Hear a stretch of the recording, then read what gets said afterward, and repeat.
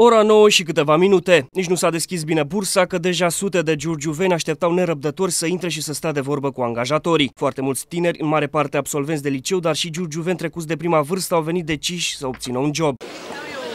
eu și să-l completez, da?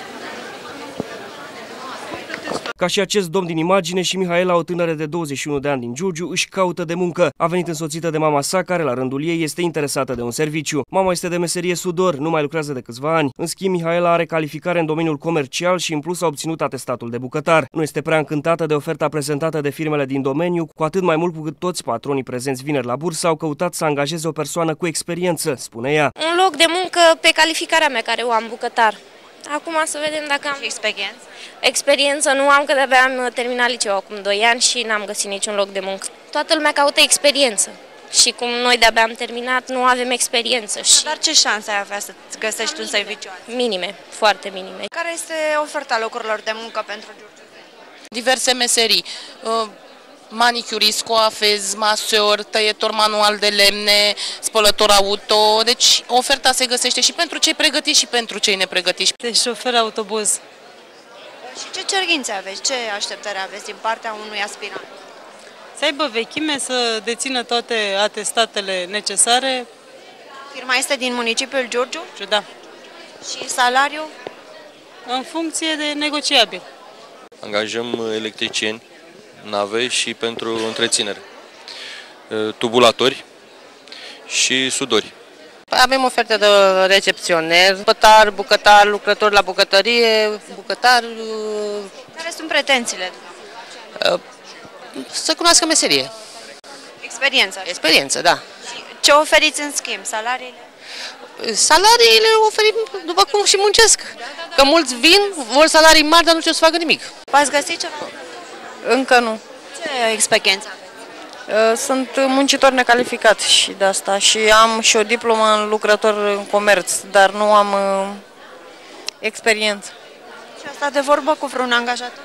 Da, S-a concretizat ceva sau nu. Mă interesează contactul ca șofer, să întreb. Da. profesionist? Nu, nu, nu. Simplu. Ai găsit ceva să te Da, da, da, da. Ai uh, făcut și schimb de numere de telefon? Da. Recrutat și... Da, da, da. Chiar acum. Cum e meseria asta? E bine plătită? Nu știu ce să vă spun. Cred că Ai da. experiență? Da. Lucrător comercial. Ai mai lucrat? Da, da, am Și lucrat. ce experiență? Aproximativ 4 ani. Și ce așteptări ai de la presupusul angajat? Să mă ofere un loc de muncă stabil. Caut un agent de vânzări sau ceva în comerț, ceva... Te-am urmărit îndeaproape și am, ce mi-am dat eu seama, ești destul de pretențios. Ce, ce experiență ai? Păi da, că... Uh, undeva la 7 ani, 8 ani. Experiență. Da. Și cerințe din partea angajatorului, cum se sau? Acceptabil. La ora 9 și jumătate erau aproximativ uh, 55 în munici- în municipiul Giurgiu, care oferă peste 370 de locuri de muncă în diverse domenii, cum ar fi construcții, servicii, confecții și uh, cele mai multe locuri de muncă sunt pentru personal, persoanele calificate. În orașul Bolintin Vale au uh, comunicat participarea un număr de 17 angajatori care oferă peste 80 de locuri de muncă vacante.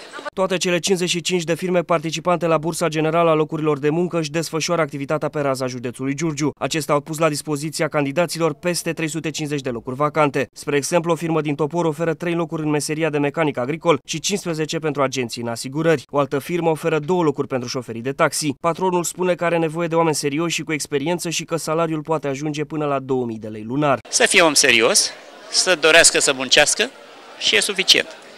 Care sunt așadar locurile? De șofer vă dai. Șofer taxi. Ați reușit să recrutați ceva? Am recrutat trei persoane.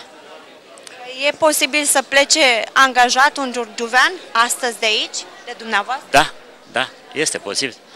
Dacă dorește să muncească, se poate. Mai are însă o condiție care, uh, de regulă, nu o îndeplinesc uh, cei care solicită acest lucru și anume trebuie să aibă atestat de taximetrist. La fel de căutate sunt și meserile de șofer pe autobuze, autocamioane, ospătari, bucătari, contabili, instalatori mecanici de gaze sau tehnico-sanitare. Câte două locuri sunt disponibile și pentru măcelari, dulgheri, tehnicieni și zidari. Cine se pricepe la prinderea câinilor vagabonzi se poate adresa serviciilor locale. Această societate angajează în prezent 5 persoane pe acest post. Sunt foarte mulți giurgiuveni cu CV-urile gata pregătite. Ce șanse credeți că au aceștia să plece astăzi eh, angajați?